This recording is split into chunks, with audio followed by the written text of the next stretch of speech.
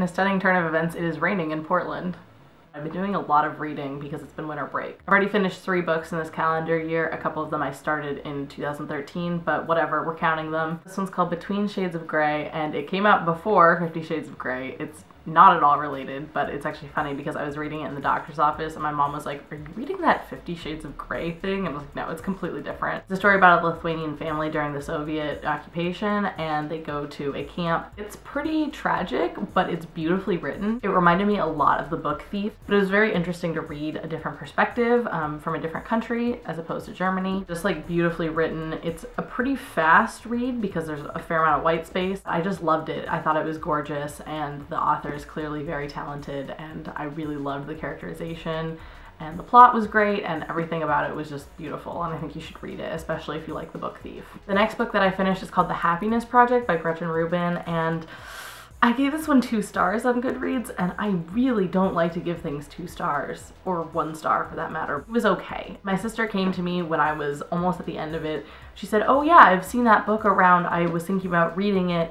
And I said, don't, it's not worth your time. That's my biggest issue with it. It's not that the book itself is particularly problematic, I just think it's not worth the time that it takes to read it. I think she could have gotten the same points out of 200 pages and then maybe I would have liked it better. She also kept a blog as well as writing the book. And I honestly think this project is better done in blog format because you can keep up with her on a week to week basis and her reflections would feel more real and more pertinent and maybe you could even have your own kind of glimmers of her blog and her lessons throughout your own life, but because it's all in one big chunk, it just felt very overdone. She was fairly happy going into the project and she acknowledges that and she says you don't have to be unhappy to focus on your happiness and I totally am in that camp. I totally agree with that.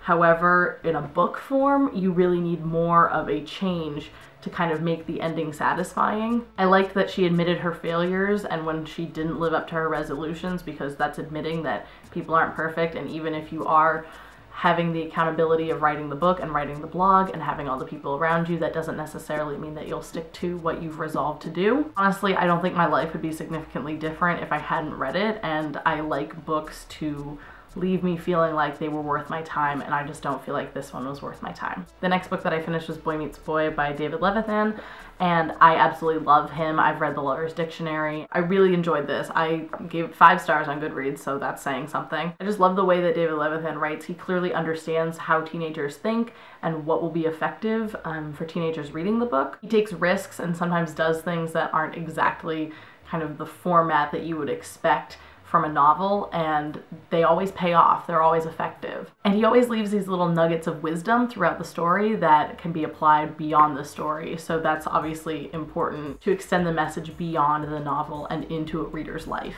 My only qualm with this book is that it's about a gay teenager and in his town, this I guess hypothetically fictional town, it's clearly a suburb of New York City because they go to the Strand bookstore in New York City. And Paul, the protagonist, develops this kind of show offy, kind of braggish tone when he talks about his town's openness to homosexuality. This almost seemed fakey, like it was overly accepting in the town. And I know they kind of needed that to make the story happen. At one point, I remember him saying, Oh, the PFLAG is even more active than our PTA. And I'm kind of going, Where on earth is that currently the reality?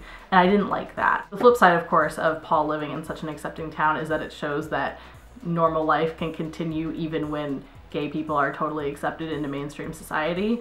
And obviously, I like that as a supporter of gay rights. Shows that treating people with acceptance and love won't make the entire world collapse, but it just didn't seem particularly realistic. Let me know if you like it when I talk about books. I would love to do more of that, and I will leave my Goodreads down below too so you can see what I'm reading as I'm reading it. I'm excited to be back on YouTube and expect a couple more videos from me soon.